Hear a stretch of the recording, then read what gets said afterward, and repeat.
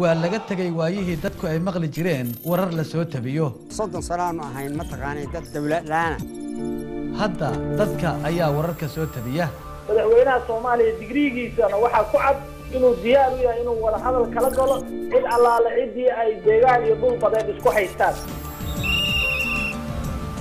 Maxaa ugu muhiimsan maxaana mudan in aad dadka la wadaagto? Madaxweyne ku-xigeenka dalkani kenya william ruuto ayaa isugu yeeray la taliyaashiisa si markaasi uga aninsado go'aanka ay dhowaan maxkamadda dembiyada dagaalka adduunka ee i c c da ay ku ogolaatay isticmaalka cadeymo ay bixiyeen markhaatiyaal hore oo ka soo horjeeday master ruuto sheekaba sheeka keentaaye fadlan nala wadaag xogta aad hayso. Wax weyn ayaa arkay gabdhay sidii horeeto oo lagu bixi karin jidka oo isbeddel weyn jiray. Jidka adoo socota liskaa dilaayo liska kaaxiraayo had ayaa xuriyad weyn helnay soo wac soo qor ama ku soo duub adigoo ku soo diraya youtube facebook iyo dhammaan aaladaha lagu xidhiiro adigoo ka warramaya waxa dhab ahaan aad goobjoogga uga ahayd ama u maqashay ama u aragtay ee markaasi ka dhacay magaalada aad joogto. Malayga aadaa loo iibsadaa boqolkiiba boqol. La soo xiriir barnaamijka maanta iyo somaali cable.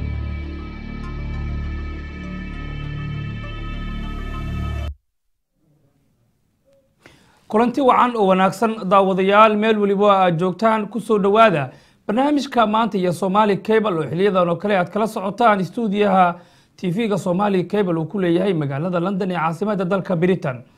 Qodobada aad maanta kaga boga doontaanna waxaa ka mid a madaxweynaha dalka kenya ugu baaqay madaxda africa inay samaystaan iskaashi si ay u gaaraan horumar iyo weliba xubno ka mid a ergada ka qaybgalaysa kulanka maamulo sameynta loogu sameynayo maamulada hiiraan iyo shabeellada dhexe oo maanta shijra ayd ku qabtay magaalada jowhar wasiirka amniga maamul goboleedka puntland oo ku dhaawacmay iska horimaad maanta ka dhacay magaalada boosaaso gudoomiyaha baarlamaanka soomaaliya oo sheegay inayna qabsoomi karin dooda ee xildhibaanada baarlamaanka maanta ay ka yeelan lahaayeen xilka qaadista gudoomiyihii hore ee maxkamadda sare ee soomaaliya.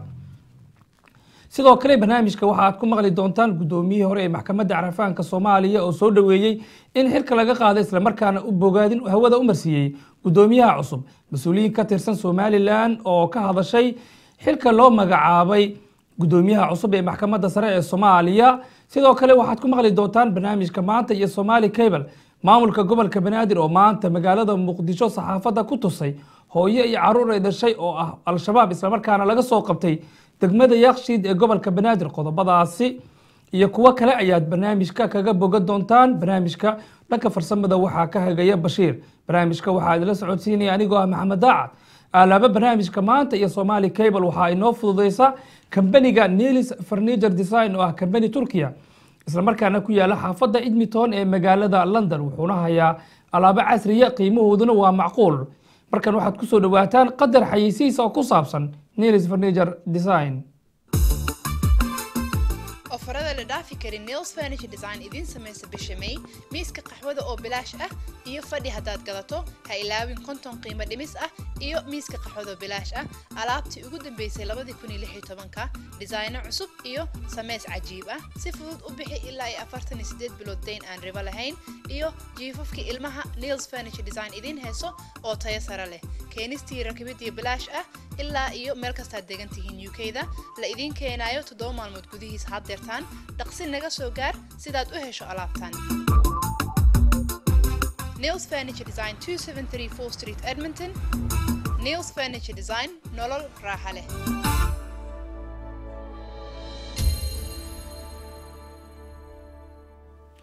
Waa hagaag intaasi aan kaga gudubno qadarka xayeysiiska ah ee ku saabsan kambaniga nelis furniture design oo idiin hayo. Alaaba casriya markaana waxaan gudagalaynaa barnaamijka maanta iyo somaali cable madaxweynaha dalka kenya uhura kenyatta ayaa ugu baaqay madaxda africa inay yeeshaan iskaashi. Qodobadaasi iyo kuwo kale waxaa inoo diyaariyey wariyaha iyaga oo ku sugan magaalada nairobi. Mahadsanid wararka arrimaha kenya iyo bariga africa ee qeybta ka ah barnaamijka maanta iyo soomaali cabelna waxaanu ku soo qaadanaynaa madaxweynaha dalka kenya uhuru kenyatta ayaa u soo jeediyey madaxda waddamada africa in ay samaystaan iskaashi iyaga dhexdooda ah waxna ay ka qabtaan xaaladaha xagga colaadaha iyo dhibaatooyinka ka jira qaaradda africa si buu yidhi qaaradda africa ay ugu guuleysato inay soo jiidato maalgashi caalami ah nolosha dadkeeduna ay horumarin ugu samayso madaxweynaha dalka kenya uhuru kenyatta ayaa ku booriyey madaxda waddamada africa dhexdooda in ay la yimaadaan qorshe is-afgarad ah oo lagu fududeynayo ganacsiga islamarkaasna uu yidhi lagu soo jiidan karo maalgashi caalami ah iyo in wax laga qabto nolosha dadka waddamada qaaradda africa madaxweynaha waxa uu sheegay madaxweynaha waxa uu sheegay in arrintaasi lagu sameyn karo oo keliya. Haddii horumarin lagu sameeyo kaabayaasha dhaqaalaha ee waddamada africa islamarkaana la dhimo xaddiga tirada badan ee ku baxa korontada isticmaasho africa iyadoo sidoo kalena uu sheegay in wax laga qabto inay tahay khilaafyada xagga siyaasadda iyo colaadaha ka jira qaaradda africa madaxweynaha kenya uhuru kenyatta ayaa arrintaasi waxa uu ka sheegay shir looga hadlayay arrimaha ganacsiga oo lagu qabtay magaalada tan nairobi kaas oo uu hadal uu ka jeediyey wasiirka lacagta ee dowladda kenya henry rotich kaas oo ku hadlayay madaxweynaha dalka kenya afkiisa.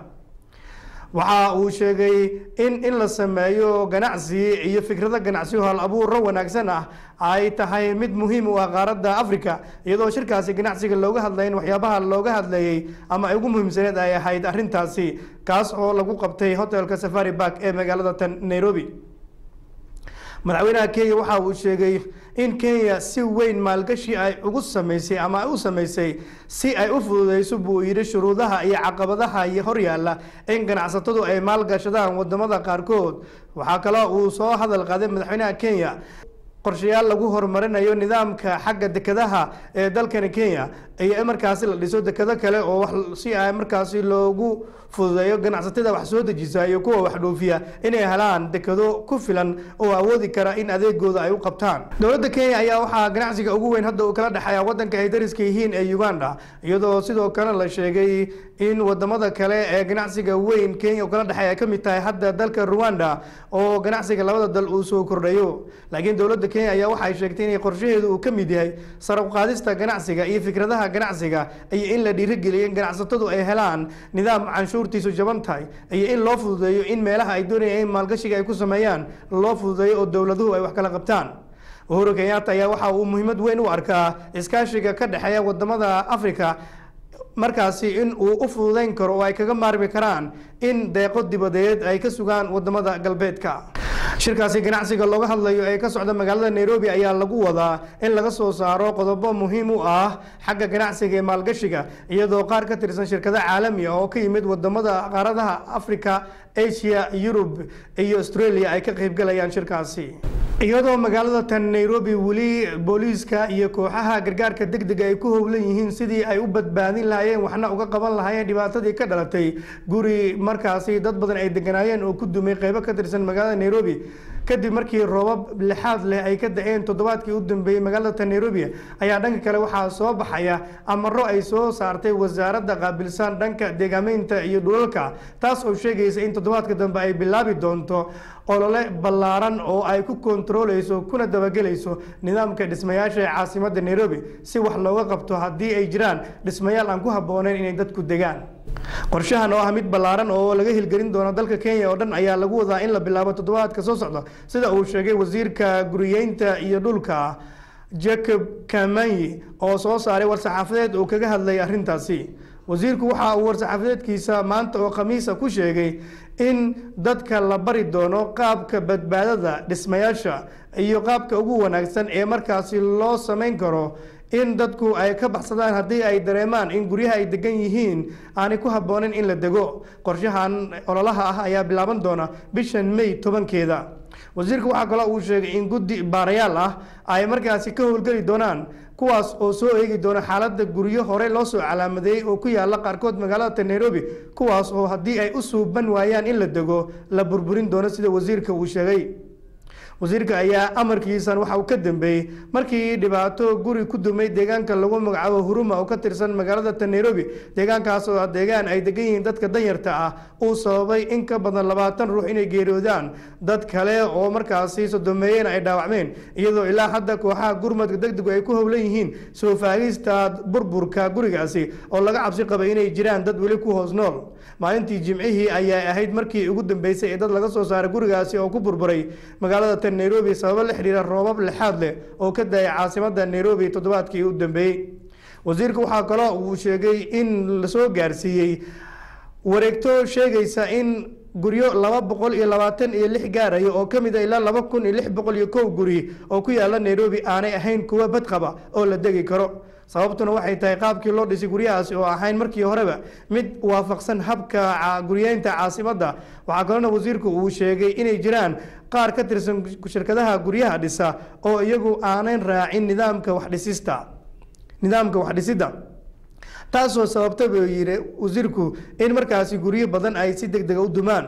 Waxaa kaloo jirta eedeyn kale oo loo jeedinayo waaxda arrimaha deegaaneynta ee dowladda hoose ee nairobi oo la sheegay inay iyadu si weyn u kontaroolin ama aanay xil badan iska saarin inay hor joogsato haddii ay u aragto dhismayaashaasi inaan ahayn kuwo badqaba oo dadku ay degi karaan meelaha la soo calaameeyey ayaa waxaa ka mid a deegaano caan ku ah dad badan inay degan yihiin oo ka tirsan magaalada nairobi. Halkaas oo la sheegayo in haddii loo arko guryahaasi inaan la degi karin la burburin doono. Wasiirku waxaa kaloo uu ogeysiin u diray dadka ku nool guryahaasi qeybo ka tirsan caasimadda nairobi inay isaga sii guuraan. Ka hor inta aan la bilaabin qorshaha burburinta. Daawadayaal markana iyadoo aanu ku guda jirno wararkii dhinaca bariga africa ayaan waxaanu ku eegeynaa dalkaasi jamhuuriyadda dimuqraadiga ee congo oo shaqaale ka tirsan hay'adda i c r c lagu afduubtay iyadoo hay'adduna ay ku dhawaaqday inay joojisay howlgalkeedii bariga wadankaasi jamhuuriyadda dimuqraadiga ee congo i c r c waxa ay xaqiijisay in ay gebi ahaanba joojisay qorshayaal safaro ay ugu bixi lahaayeen shaqaale ka tirsan hay'addaasi in ay tagaan jamhuuriyadda bariga dimuqraadiga ee congo dhankeeda bari. Saddex isbuuc kadib markii la afduubay shaqaale u shaqeynaya hay'addaasi rag hubaysan oo watay hubka fudud ayaa la sheegay inay qafaasheen saddex qof oo shaqaale ah oo ka tirsana hay'addaasi. Hay'adda ayaa war saxaafadda loogu talagalay oo ay soo saartay waxa ay sheegtay in qorsho ay ku tegi lahayd bariga deegaanka kivu la joojiyey sababtuna ay tahay xagga ammaanka oo dhibaato ay ka taagan tahay. Ilaa iyo inta laga soo saari doono ogeysiis kale oo dheeraad ah hay'addu waxay sheegtay in gebi ahaanba xafiisyad halkaas ay ku lahayd iyo hawshii ay ka waday bariga jamhuuriyadda dimuqraadiga ee congo in ay joojisay saddexda ruux ee la afduubay ayaa waxa ay la socdeen kolonyo ku sii jeeday deegaanka kanyangala la yidhaahdo halkaas oo i c r c ay ka waday cunto qaybin dadka loo sameynayay oo markaasi ah dadka ku barakacay colaadaha ka jira deegaankaasi. Si aad ayaan u cambaareynayna waxaana dalbanaynaa in shaqaalahaasi la afduubay la soo sii daayo iyagoo bedqaba ayay tiri alexandra minigan oo ah madax ka ah hay'adda i c r c qaybteeda jamhuuriyadda dimuqraadiga ee congo. Waxa ay sidoo kale weydiisatay dadka wax afduubay inay sii daayaan dadkaasi oo aysan dhibaato u geysan islamarkaana wax shuruuda aysan islamarkaana wax shuruuda aysan ku xirin.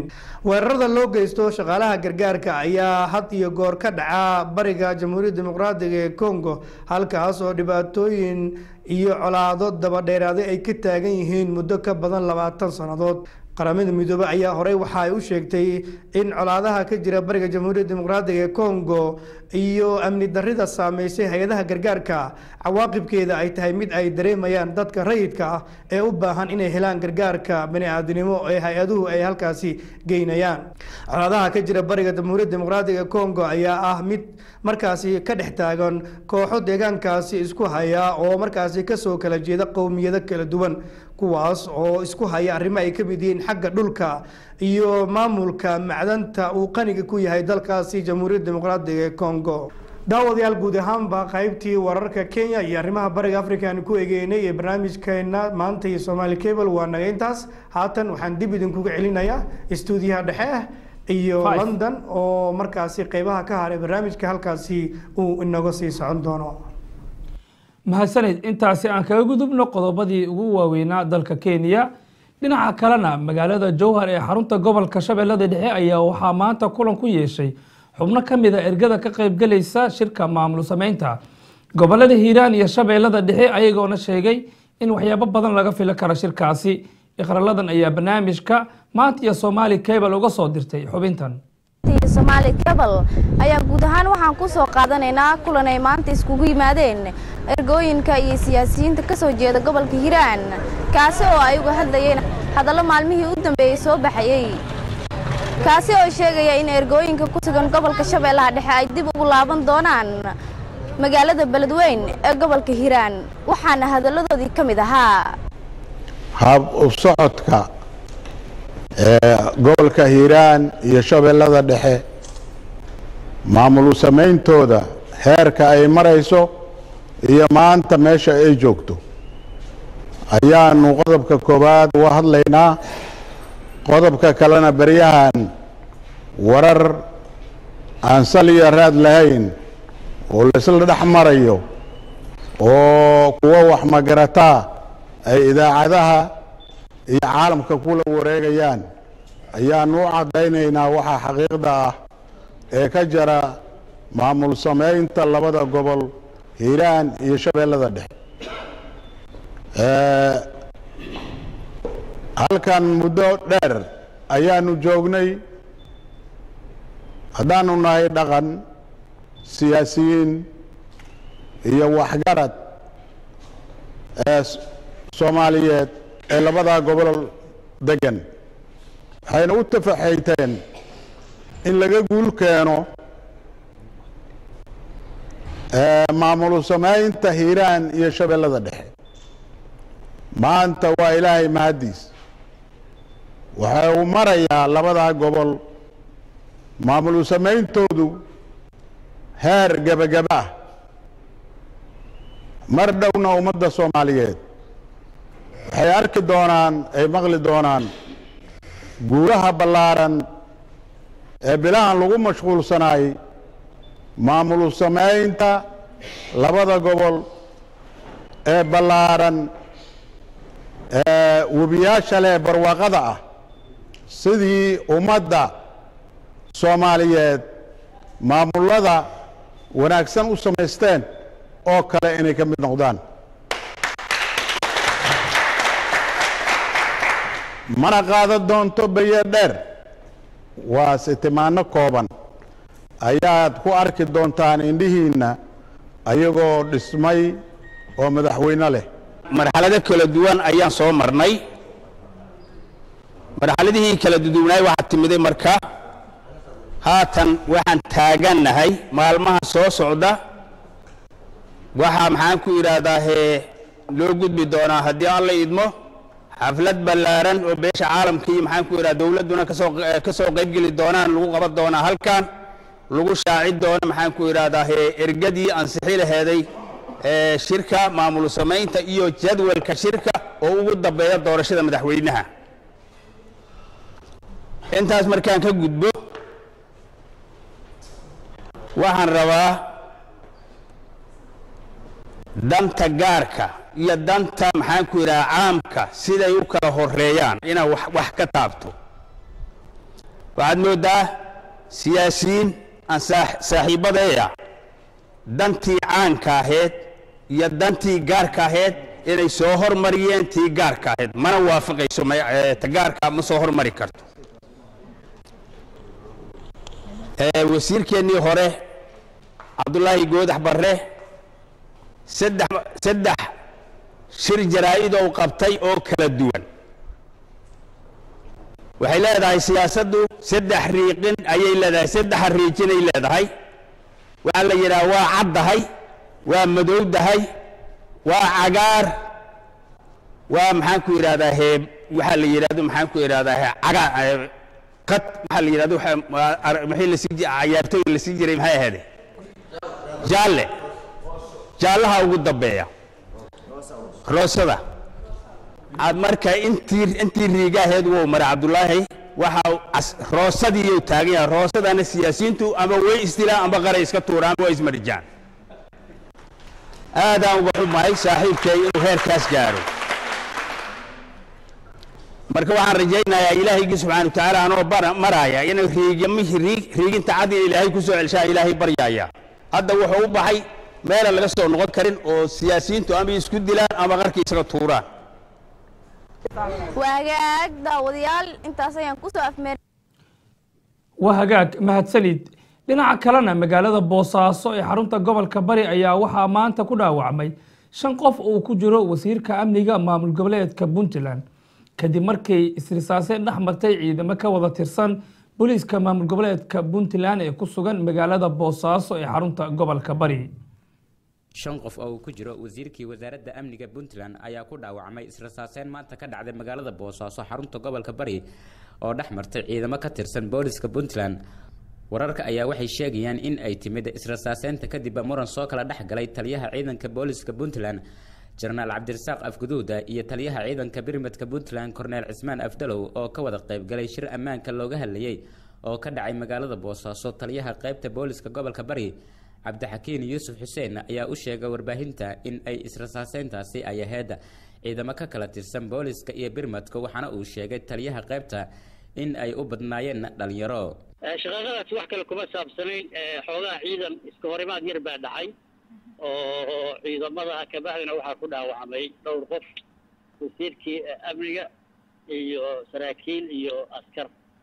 Hawshaasna waxa weeye hadda gacanta lagu halaya waa la xalinayaa wax weynna maaha horimaad yar oo ciidanku maadaama ciidan badan iyo istaafiyay ay meesha isugu yimaadeen yar hal xaboo dhacday oo marka si khayr mas'uulnima bay u sii badatay ma garat laba socfoo ciidan islaaya ma jirin. Waxay ahaayeen ciidan istaafiya nimba ciidan nin watay iyo iyagoo kala garan waaya meesha xabaddu ka imaanayso. Dhalinyaro yaryar bayna u badan yihiin oo go'aan qaadashadooda aada u yar tahay ma garat marka sidaasay u dhacday hadda laba ciidan oo isweerarday ma jirin oo laba saf maya wax dhimashaha ma jiraan wax dhimashaha ma jiraan wasiirka amniga ilaahay ha u fududeeyo xabaddaa bowdada ka dustay wax ciladoo hadda jiraan ma jiraan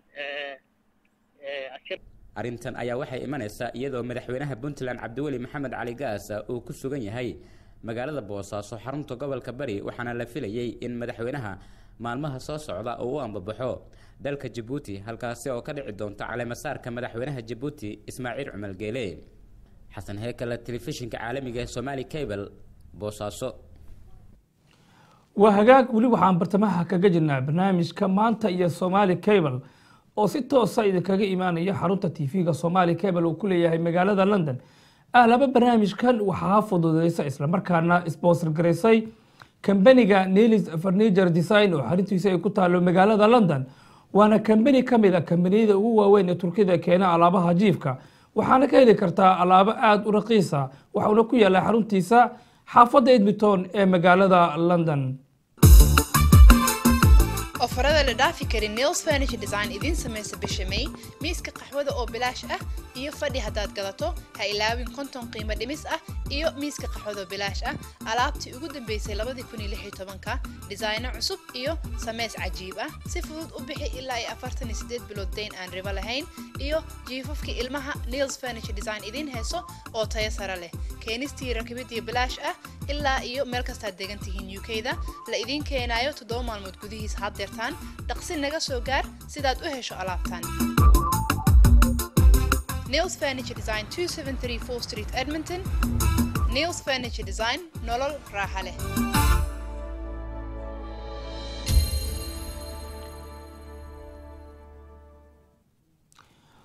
Waa hagaag intaasi aan kaga gudubno qadarka xayisiiska ay ku saabsan kambaniga nelis furniture oo fuudeeyey barnaamijkeenna waxayna xaruntiisa ku taallaa xaafadda edmonton ee magaalada london iminkana magaalada muqdisho dood xildhibaanada baarlamaanka soomaaliya maanta ay ka yeelan lahaayeen xilka qaadista lagu sameeyey guddoomiyihii hore ee maxkamadda sare dalka soomaaliya mudane ciidi dilka xanaf ayaa suurtogeli weysay kadib markii uu buuxsami waayey kooramka xildhibaanada baarlamaanka soomaaliya gudoomiyaha baarlamaanka oo kula hadlay warbaahinta xarunta golaha shacabka ayaa sheegay inaysan suurtagal ahayn maanta baarlamaanka inay doodaan wuxuuna ugu baaqay xildhibaanada baarlamaanka soomaaliya inay hortaalo shaqo adag loona baahan yahay inay kasoo qayb galaan kulamada baarlamaanka soomaaliya بسم الله الرحمن الرحيم الحمد لله رب العالمين والصلاة والسلام على النبي صلى الله عليه وسلم وعلى آله وصحبه وسلم تسليما وصلوات الله وسلامه على الأنبياء والمرسلين وعباد الله الصالحين أجمعين والحمد لله رب العالمين آه مدن يا شر shirkii degdegaa ah xildhibaanada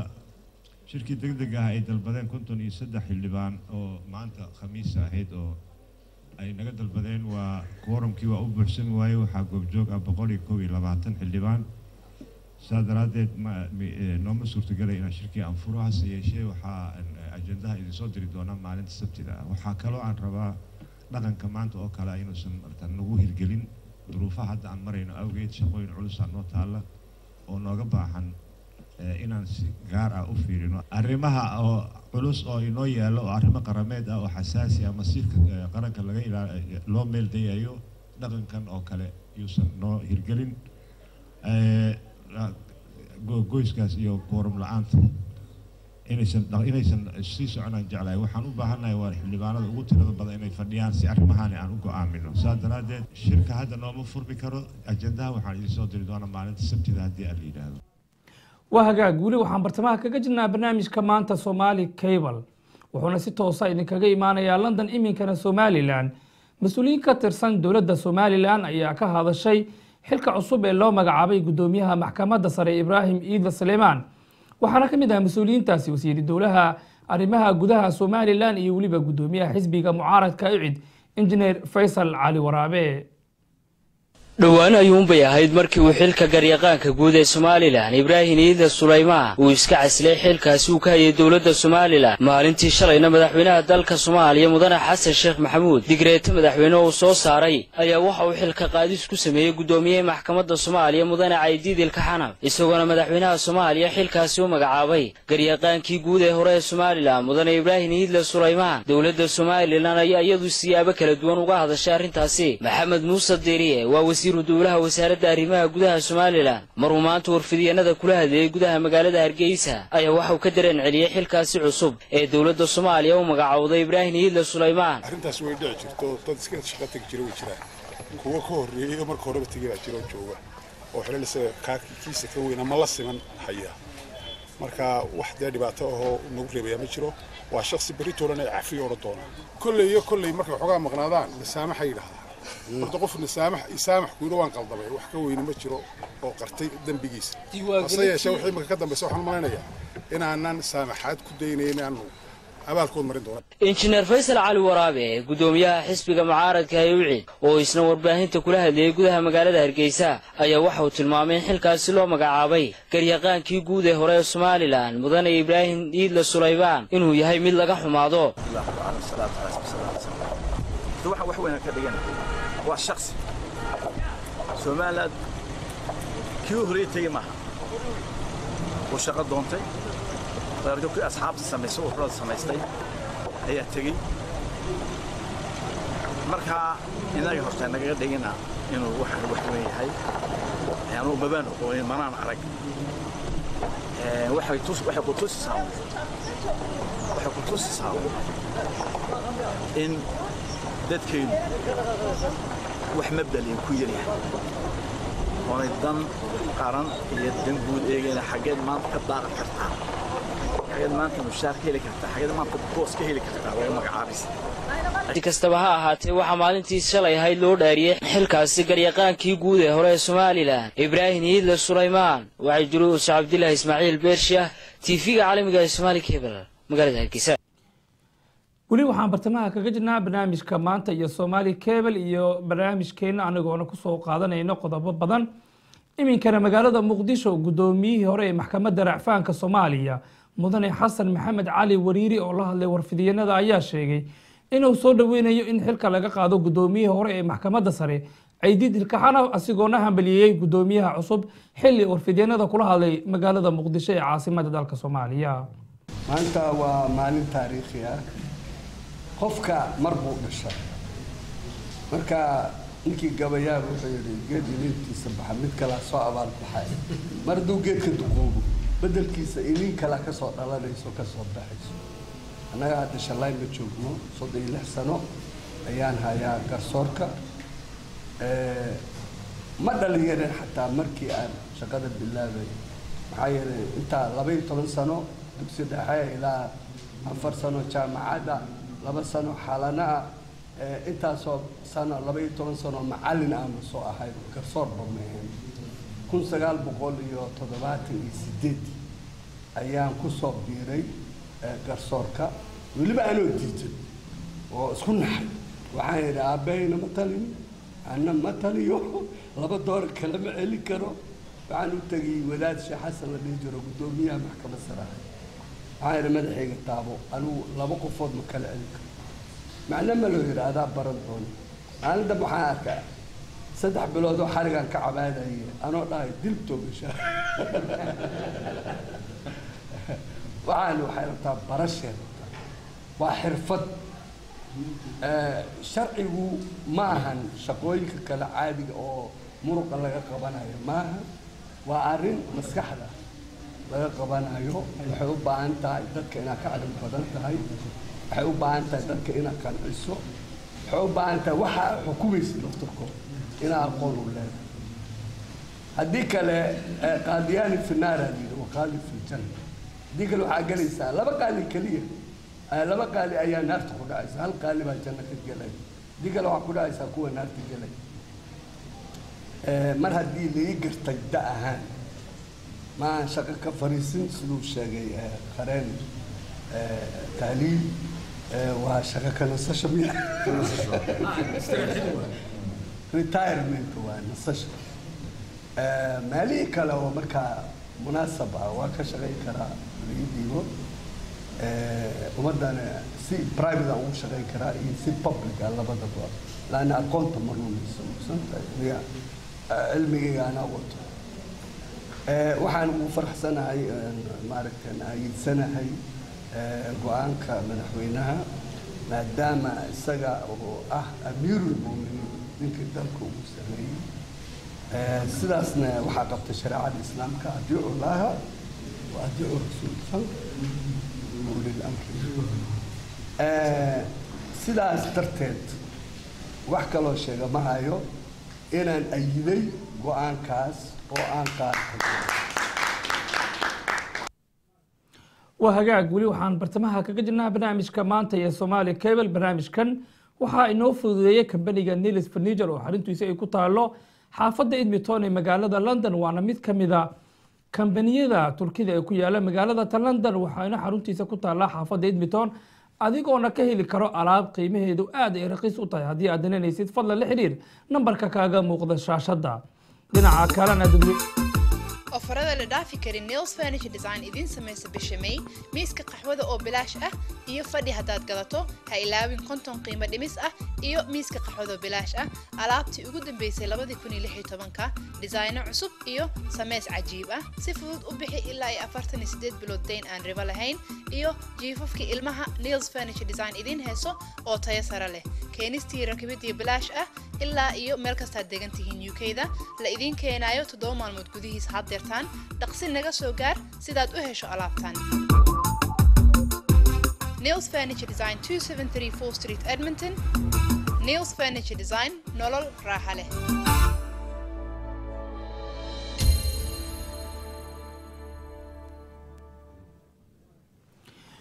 Waa hagaag iminkana magaalada muqdisho aan dib ugu laabanay qaar ka mida dadweynaha ku dhaqan magaalada muqdisho ee caasimada dalka soomaaliya oo aan maanta la dhexmarnay kaamirada ayaa aragtiyo kala duwan ka muujiyey.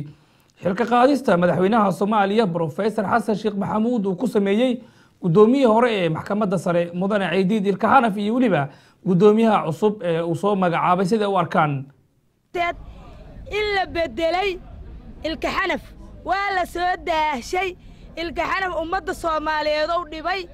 Waxaan leeyahay waa soo daahyey ninka hadda yimidow adiguna haddaad asagoo kale naqata inaadan ka herayn ogaaw. Waxaan ayidsanahay dhow magac ninka kursiga laga qaado ilka xanafa oo xaqdarrada iyo baadilka koombay jiray. Oo maha laga wareejiyey aad iyo aadaa ugu faraxsanahay waxaan idiin sheegaya xildhibaanada. Iyo dadka goormo wax la cuni jiray. Xildhibaanadayna sharaftale waa mahadsantihiin dadka kaloo soo qaylqaylihaayo waa goormo dadka xaaraanta la cuni jiray xildhibaanada sharaftale waxaan leeyahay waa mahadsantihiin annakaana matashiin shicibkaa matashiin waxaan ku leeyahay xilka shicibkaa u haysiin. Waxaad ogaatiin inaadan u duubo karinina nin dalka dhacay. Dalkou dhacay dadkou dhacay. Beled iyo baadiyo soomaaliya meelowna caac ka siin male waana dhibyey waxaan ayidsanna madaxweynaha sharafta leh oo soomaaliyeed inuu naga beddelo kaas. Hase ahaatee ou soo daahay waxaan ku leeyahay oodimo badanaa dadka ka fuqfuqay. Dad xaqiisow dad kale u xukumay. Alyoomow ku shaqayhaaye biriga qofow ka xukumaa hadday baasa siiso qof kale u xukumaa. Qoftaan birigana qof kale. Waxaan ayidsanahay beddelka la beddelay ilka xanaf kiniyaad soo dhunxisay. Waa kuu dhammaatay adduunya aakhirana wax kuuma yaaliin. Adduun iyo aakhira wax kuuma yaaliin. Waxaana ayidsanaha madaxweynaha soomaaliya. oo ou beddelay beddelkou beddelay. Codkiisa ayaan ayidsannahay xildhibaanada sharafta leh. Waa isnaqaanaa labada boqol iyo shanta. Waa isnaqaanaa waxaadna mateshiin shicibka. Shicibka codkiisa qaata. Heesku ajarminina orax sii dhacaysa kahera intaas iyo wasalaamu calaykum waraxmatullaahi wabarakaatu. Inaan hadalkayga burqadaan ka cabsahaya maxaan jiro? Wax badanaa igu maqan. Waxaan aad u soo dhowaynaynaa isbeddelka aad ku samaysay caddaaladda waxaan u sugaynay sida roobka ilaahay aan u sugaynay. Waadna ku mahadsan tahay. Waxaana ku leenahay hambalyo hambalyo hambalyo caddaaladdu ha suganto. Waa wax aan muddo badan sugaynay. Midda kale waxaan leenahay oo rabaa laba eray inaan idhaahdo xubnaha baarlamanka annagayna metelaan ee annagu ma rabno inay jaabkooda dad ka socdo naqdaan. Af iyo dalqa duleesha ma doonayno. Waa inay noqdaan dad ka turtumaya shacbiga soomaaliyeed. Haddayna naga turjumaynan annagana matalan ma dirsan mana rabno hanala wareegaano namana metelaan. Cadaaladda waxaan rabnaa inay noqoto midda lagu soo hirto. Alxamdu lilaahi rabbi alcaalamiin waa mahadsantihiin bismi illaahi araxmaani araxiim alxamdu lilaahi rabbi alcaalamiin saakay waxaan joognaa degmada waxaan nahay shacabkii odayaashii degmada cabdicasiis degmadeennu waa degmo soomaaliyu degan tahay. Waxaan een, alxamdulilaahi ka mahad celinaynaa oon madaxweynaha soomaaliyeed uga mahad celinaynaa. Shaqada uu qabtay una qabtay een, alxamdulilaahi dadka dhibaateynaya magaalada muqdisho. Waxayba ahayd mar hore inuu ka qabto waana hididilo noo bilaabatay alxamdulilaah een, dharbaaxadii uu ku dhacday nimanka la yidhaahdo garsoorka waa fayris dalka ay ku abuureen ayaa ka jira dalka. Waana mahadsiheed madaxweynahan u mahad celinaynaa haddaan nahay reer cabdicasiis. Waxaan u madax waxaan u mahad celinaynaa madaxweynaha soomaaliyeed. Xilka uu ka qaaday madaxii garsoorka shalay toole oy ahayd taariikhdu ee, bishii sha- shantii bishii bishii shanaad afarteedii laba kun lix iyo tobanka shaqadii uu qabtay madaxweynaha dalka ummadda ee, soomaaliyeed waa waa shaqo ku habbooneed ayuu qabtay. Oo looga baahnay mar hore inuu qabto waxaa looga baahnay mar hore inuu qabto. Waxaan ka codsanaynaa madaxweynaha iyo intii eh, fikirkiisa wadata. Fayraskaas eh, madaxa madaxa mas madaxa laga dilaa waa la bilaabay waa inuu shaqadaas dhammaystiro ha naga dhammaystiro madaxweynuhu macallin haddaad macallin haddaad bedesho kutaabkiisa waa macallin kale. Maca waxba lagama dheefin meeshiisay taagan tahay. Macallinkaad bedesho kutaabkiisa waa macallinku macallinkuna kutaabkii kutaabkuna macallinkiisa waa ku qiro. Hadduu qur'aanka akri tago iyo hadduu xaajay tago meeshii macallinkiisa wax jiro marsiiha waxaan ka codsanaynaa madaxweynaha ummadda soomaaliyeed inuu shaqada uu u qabtay mataqaanaa uu ka qabtay magaalada muqdisho inuu laba laabaan ka codsanaynaa oo kutaabta baabi'iyo dad cusub oo shaqadana u baahan cadaaladna fali kara oo ilaahay ka baqaya inuu noo geeyo maxkamadaha dadka dadka haddii alladikeeda leeyahay una dhacaya mataqaanaa dhibaatayhaya oo oo ummaddii soomaaliyeed oo dhan lu goynaya waa inuu naga qabto waana ku mahadsanya madaxweynuhu waa u mahad celinaynaa haddaan nahay degmada reer cabdicasiis. Haddaan nahay soomaalida degan degmada cabdicasiis.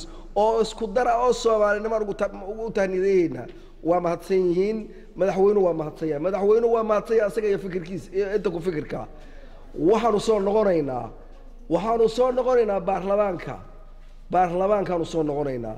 Baarlamaanku annaga ayuuna matelaa wuxuuna nagu matelaa annagaa u dirsana shaqada ay hadda hayaan annagaa iskale.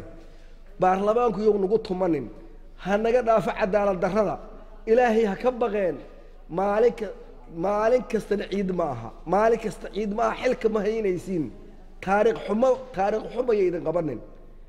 Waxaan la dar waxaan waxaan waxaan waxaan u diraynaa fariintaas waxaan u diraynaa fariintaas. Nimanka la yidhahdo baarlamaanka dadka jooga oo rag iyo haweena mudanayaasha baarlamaanka iyo marwooyinka baarlamaanka waxaan u diraynaa ha ka fiirsadaano ha ka fiirsadaano cadaalad darro horey noo baktiisay dhimashaan joognaa dhimasho.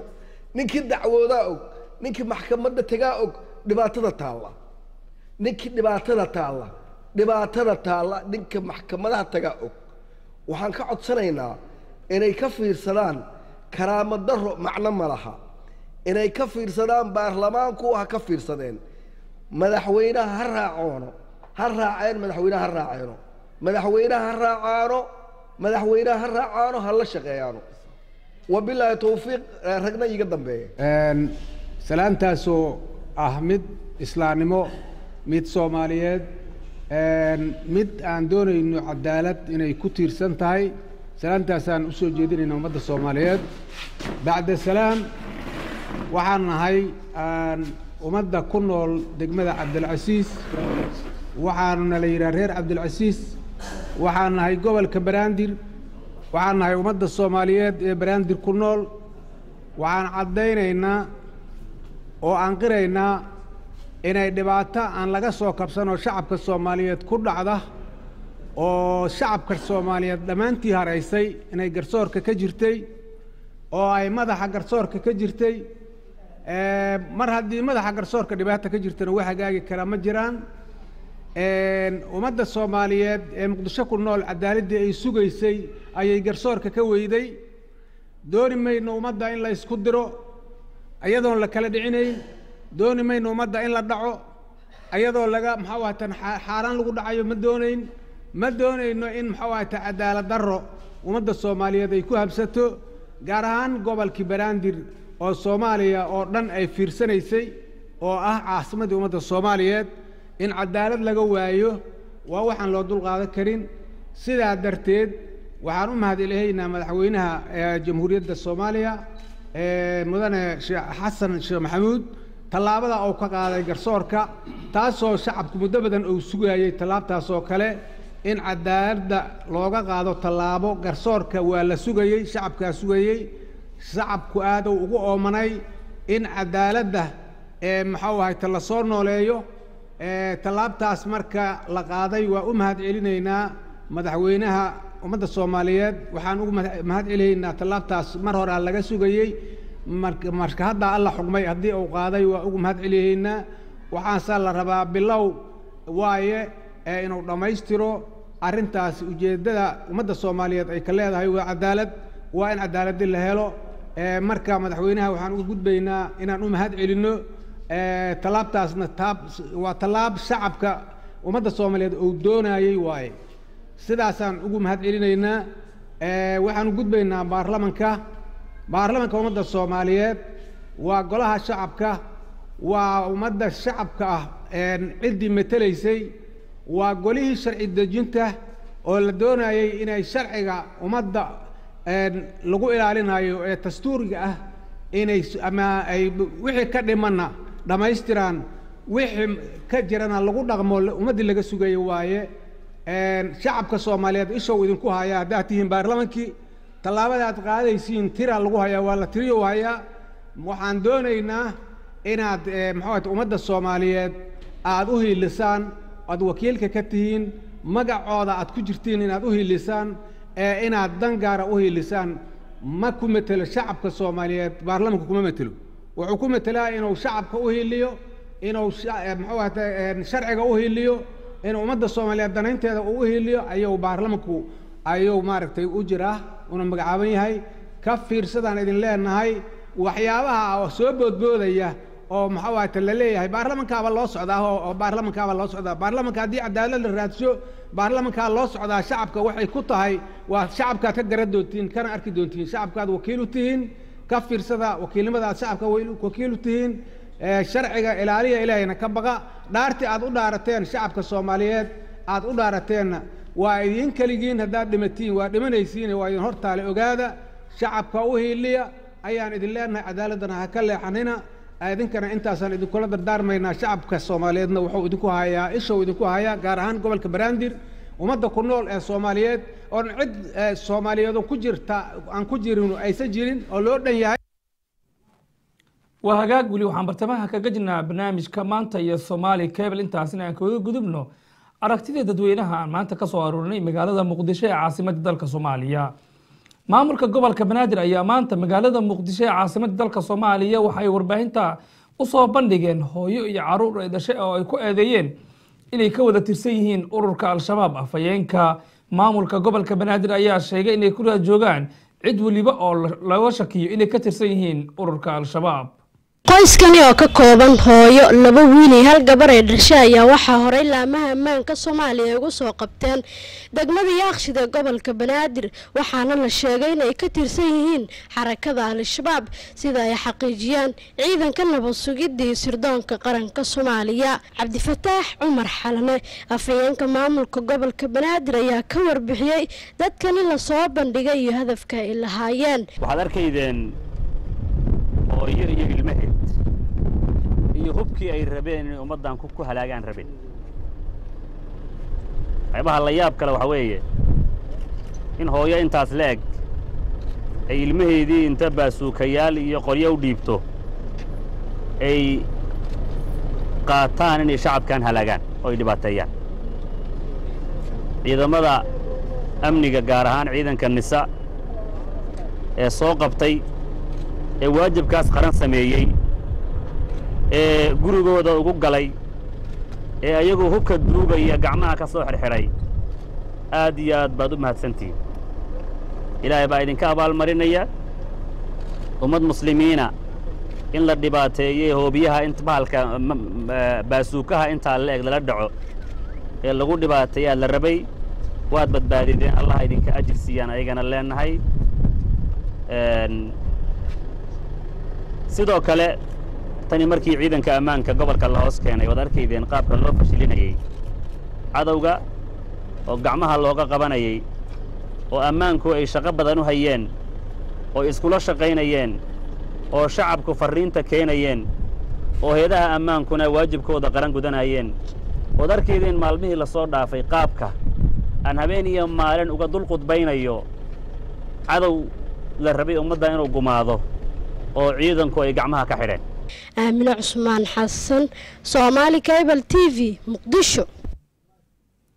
Waa hagaag weli waxaan bartamaha kaga jirnaa barnaamijka maanta iyo soomaali cable. Intaasina aan kaga gudubno maamulka gobolka banaadir oo maanta magaalada muqdisho warbaahinta ugu soo bandhigay hooyo iyo carruur ay dhashay oo lagu eedeeyey ururka al-shabaab inay ka wada tirteen islamarkaana ay ku noolaayeen. Degmada yakshid ee gobolka banaadir barnaamijkan waxaa aalaaba inoo fududeeya kambaniga nelis farniger design oo xaruntiisa ku taalo xaafadda edmonton ee magaalada london. Waana mid ka mid a kambaniyada ugu waaweyn ee ku yaalla magaalada london adigoona ka heli kartid. Alaab kwalitigeeda aada u hersareeyo islamarkaana qiimaheedu uu yahay macquul la dhaafi karin nails furniture design idiin samaysa bisha may. Miiska qaxwada oo bilaash ah iyo fadhi haddaad gadato ha ilaawin konton qiimo dhimis ah iyo miiska qaxwada oo bilaash ah. Alaabtii ugu dambeysay labadii kun iyo lix iyo tobanka dhisayno cusub iyo sameys cajiib ah. Si fudud u bixi ilaa iyo afartan iyo sideed bilood dayn aan ribo lahayn iyo jiifafkii ilmaha nails furniture design idiin heeso oo tayo sare leh. Keenistii rakibidii bilaash ah ilaa iyo meel kastaad degan tihiin uk-da la idiin keenayo toddoba maalmood gudihiis haddeertaan dhaqsi naga soo gaar sidaad u hesho alaabtan nails furniture design 2734 street edmonton. nails furniture design nolol raaxa leh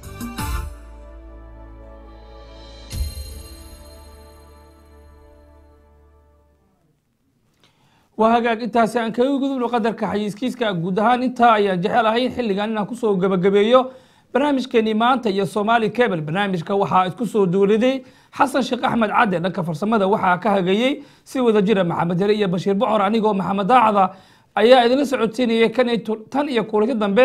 Wasalaamu calaykum waraxmatullaahi tacaala wabarakaatuhu mudane madaxweyne ku soo dhowow telefishinka somaali cable. Shisheeyaha dalalkooda waa ku dhintaan. Umana tagno.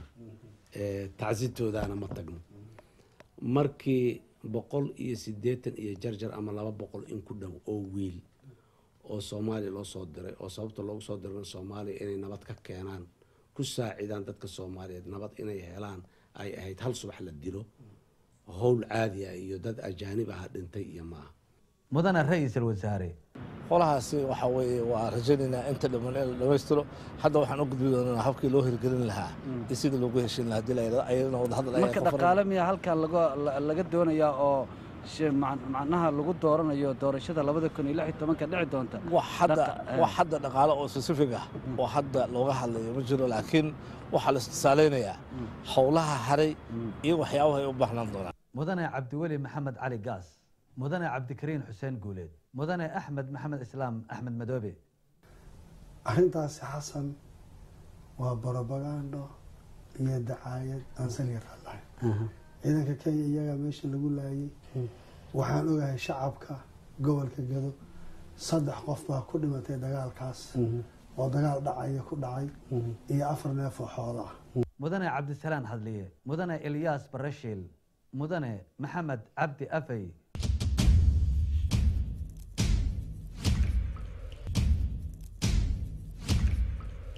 magacaygu waa xasan sheekh axmed cadde. Halka aad naga daawanaysaanna waa telefishinka somaali cable